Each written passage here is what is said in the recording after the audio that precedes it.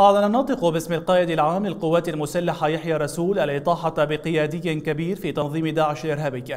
وقال رسول في بيان له إن جهاز مكافحة الإرهاب تمكن بعملية نوعية من قتل الإرهابي المكنى أبو سعد السمين والذي كان يشغل منصب ما يسمى أمير قاطع بالقرب من بحيرة تلال حمرين ضمن محافظة ديالة مبينا أن الإرهابي يعد ذو تأثير كبير بتنفيذ عمليات التفخيخ وتجهيز الإرهابيين الانتحاريين.